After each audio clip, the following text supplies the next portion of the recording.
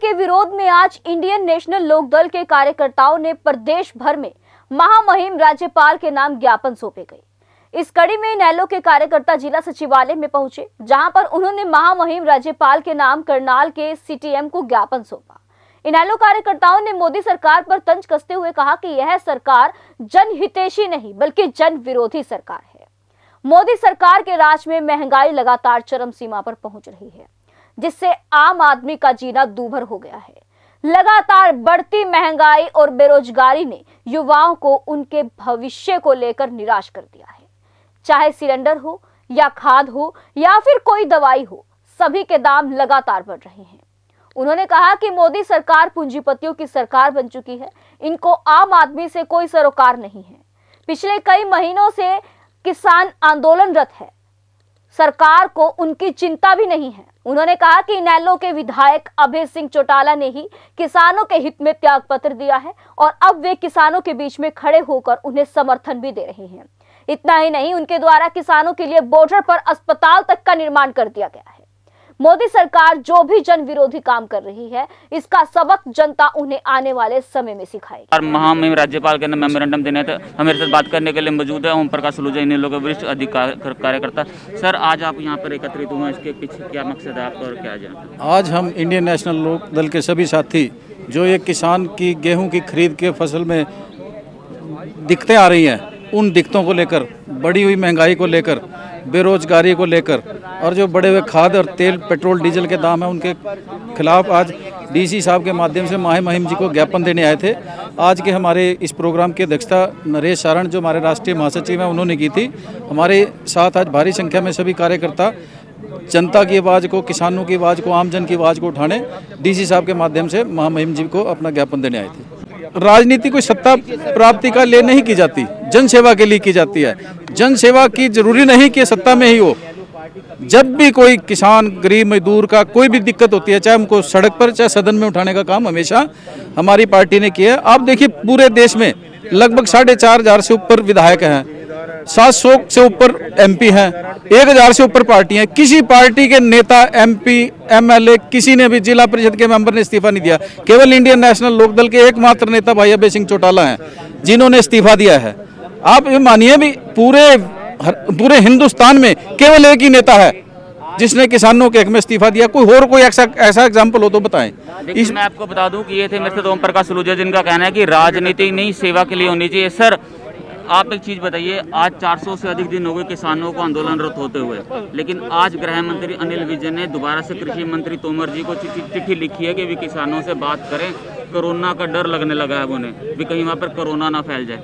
इससे पहले 400 दिन तक उनको क्या याद नहीं था या क्या क्या कारण था इसके पीछे? देखिए, आपके माध्यम से सबसे पहले तो मैं जो केंद्र सरकार तीन अध्यादेश लेकर के आई है, किसान विरोधी आदेश तो 400 दिन लगातार किसान बड़ी ठंड के अंदर बैठे रहे।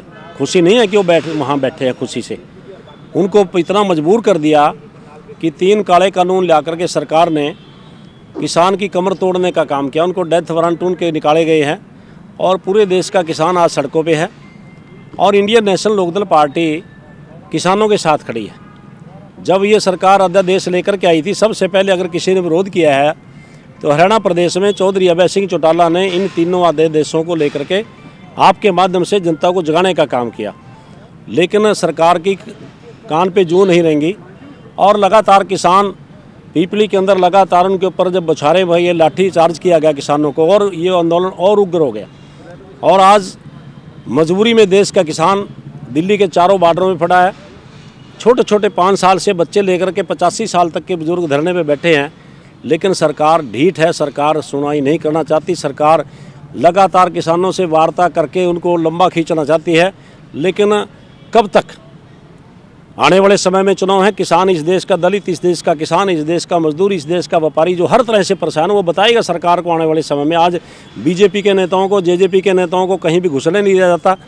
यही तो उसका परिणाम है, इस इन काले कानूनों का परिणाम। और यहाँ हरियाणा प्रदेश में बेरोजगारी जो हमारा युवा है, वैसे तो पूरे देश में परेशान है युवा।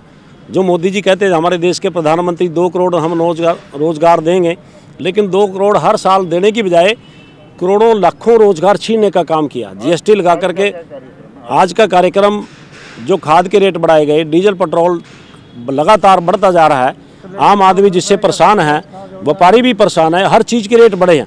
आज चाहे सीमेंट का रेट हो सरिये का रेट हो ईंट का रेट हो चाहे सीमेंट चाहे बजरी का रेट हो चाहे खाने पीने की चीज़ों के रेट हैं आज आसमान को छोड़े और ये पूंजीपतियों को पूरी तरह से छूट दी गई है। पूंजीपतियों के ऊपर किसी का कंट्रोल नहीं है। मेरा नाम नरेश सारण है। ये देखिए, ये थे मेरे साथ नरेश सारन जी जो ये बता रहे हैं कि महँगाई के विरोध में यहाँ खड़े हैं। हर एक चीज़ के दाम बढ़ दिए जो मोदी सरकार ने वादा किया था आम जनता के साथ, चुनावों के बाद वो वादों से बिल्कुल मुकर चुकी है। पूंजीपतियों की सरकार बन चुकी है। सर, आप क्या कहना चाहेंगे आज के इस प्रोग्राम के बारे में? आज हमारा प्रोग्राम पार्टी की तरफ़ से ये नरेश जी सारण हमारे प्रभारी हैं यहाँ। इनके माध्यम से हमने डीसी साहब को ज्ञापन सौंपना था, जो हमारे सीटीएम साहब ने कबूल किया है। हमने अपनी आवाज़, जनता की आवाज़ जो महँगाई से त्रस्त है गैस के भाव देखो, डीजल, पेट्रोल के भाव देखो, आम किसी भी चीज़ के भाव लगा लो। उससे इतनी जनता तंग है, उसकी आवाज़ के लिए हमारा जो अपना फ़र्ज़ है, हम उस फ़र्ज़ के लिए यहाँ आए हैं ताकि इस बहरी गूँगी सरकार के कान खोले जा सकें। और ये पार्टी की तरफ़ से मोमरेंडम दिया गया था, जो हमने यहाँ डी सी साहब को सौंपा है। आदरणीय हमारे गवर्नर साहब को ये जाएगा ताकि सरकार को पता चले कि इंडियन नेशनल लोकदल पार्टी अपने काम पे किसान की, मजदूर की मसीहा है। और किस प्रकार से महँगाई से त्रस्त जो लोग हैं, उनके बारे में हम आवाज़ उठा रहे हैं। आज गैस का सिलेंडर देखो, आप नौ सौ रुपये में गैस का सिलेंडर है, जो सौ सवा सौ रुपये में हुआ करता। आम आदमी को रोटी खाना दुबर हो गया है। किसान के साथ किस प्रकार से अन्याय हो रहा है? चार पाँच महीने से किसान जो वहाँ दिल्ली बॉर्डर पर पड़ा है, उसकी कोई सुनवाई नहीं। उसके नीचे नीचे कभी खाद के भाव बढ़ा देते हैं, कभी दवाई के बढ़ा भाव बढ़ा देते हैं। कभी किसान को ये कहते हैं, पोस्टल पर आपकी फ़सल खरीदी जाएगी। किस प्रकार से मंडियों में किसान तंग है, मेरा आप मीडिया से भी ये प्रार्थना है। हमारी इस आवाज़ को आप अपने इस कार्यशाली द्वारा लोगों तक पहुंचाएँ ताकि लोगों को पता चल सके ये धोखा किस प्रकार सा कर रहे हैं। जैसे बंगाल में ये ममता बनर्जी के पीछे लगे हुए हैं, वहाँ अपना धन से, बल से किस प्रकार से वहाँ ज़ोर ज़बरदस्ती करने की कोशिश कर रहे हैं ये। हिंदुस्तान में ये अपना राज स्थापित करना जिस प्रकार हमारा रजवाड़ा हो, इस तरह से करना चाहते हैं। मेरी आप सभी से यही गुजारिश है मीडिया से। प्रार्थना है जिस प्रकार हमारा आप साथ देते हैं, इसी प्रकार का आप साथ देते रहें। हम किसानों का और गरीब का और मजदूर का साथ चौधरी देवीलाल चौधरी ओम प्रकाश चौटाला की तरह इसी प्रकार से भाई अभय सिंह चौटाला जी देते रहेंगे। जिस प्रकार से हमारे ऊपर ये इल्ज़ाम लगाते थे कि राजनीतिक लोग किसानों को बरगला रहे हैं। हमारे नेता भाई अभय सिंह चौटाला जी ने चार साढ़े चार हज़ार एमएलए होते हैं, जिनमें सबसे पहले नाम चौधरी अभय सिंह चौटाला का है, जिन्होंने त्याग पत्र देकर किसानों के बीच में आने का जो निर्णय लिया है, ये एक बहुत बड़ा निर्णय है। आज पंचायत के सदस्य से भी आज कोई इस्तीफा नहीं देता। आज कोई कमेटी के मेंबर से कोई इस्तीफा नहीं दे सकता। वो किसानों के साथ खड़े हैं और जो भी हमारे सभी के सहयोग से किसानों के लिए कर रहे हैं, जिस प्रकार उन्होंने हॉस्पिटल खोले हैं, वहाँ लंगर लगाए हुए हैं, दवाई की वहाँ व्यवस्था है, हम भी वहाँ जाते हैं, निगरानी रखते हैं। तो मेरी आप सभी से गुजारिश है कि आप भी इसी प्रकार हमारा साथ देते रहे ताकि इस जनता का भला हो सके इस हरियाणा प्रदेश को और इस भारत देश को बचाया जा सके। आज पूरे हरियाणा प्रदेश के अंदर पूरे सभी जिलों के अंदर ज्ञापन सौंपे गए हैं और राज्यपाल महामहिम के नाम पहुँचेंगे ताकि इस गूँगी बहरी सरकार के कान खोले जा सकें। देखिए मैं आपको बता दूँ कि ये थे इंडियन नेशनल लोकदल पार्टी के कार्यकर्ता जिनका ये कहना है कि वो महँगाई के विरोध में यहाँ पर आज एकजुट हुए महामिम राज्यपाल के नाम, इन्होंने आज सी टी एम से डी साहब को ज्ञापन देने से पहुँचे थे, लेकिन सी टी एम साहब ने इनका ज्ञापन स्वीकार कर लिया और आगे गवर्नर महोदय, महामिम राज्य महामहिम महामहिम राज्यपाल जी को इनका ज्ञापन पहुँचा दिया जाएगा। लेकिन मैं आपको बता दूँ कि इनके, इनका ये कहना है कि जिस तरह से, जिस तरह से जिस तरह से सरकार लगातार धोखेबाजी कर रही है जिस तरह से लोग आ, सरकार जो है आम जनता को उसने जी आम जनता को उसने जीना दुबर कर दिया रोजी रोटी के लिए मोहताज कर दिया है। दवा हो खाद हो चाहे वो पेट्रोल हो चाहे वो डीजल हो लगातार उसके दाम बढ़ते जा रहे हैं जिससे एक दूसरा कोरोना के चलते कामकाज तो वैसे ही है।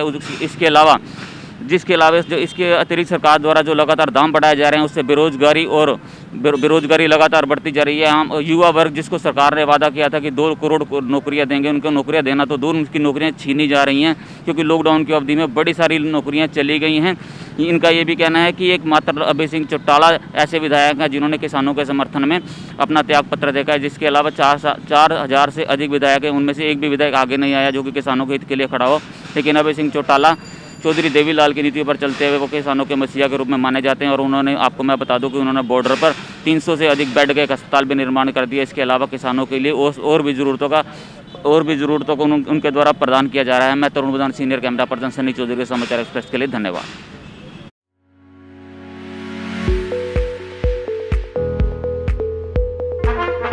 Breaking news. रास बसेरा आपके लिए लेकर आए हैं खास मौका। वो भी हरियाणा सरकार की अफोर्डेबल हाउसिंग योजना के साथ, जिसके तहत आपको मिलेगी छह लाख रुपए तक की सुविधाओं के रूप में सब्सिडी जैसे कि free parking EDC IDC free club charges free और मेंटेनेंस फ्री और कोई हिडन चार्जेस भी नहीं। तो आज ही बिना देर किए अपने सपनों का घर बुक करें।